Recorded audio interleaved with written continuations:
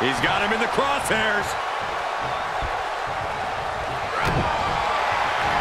Batista with a patent, with a Batista bomb. Batista.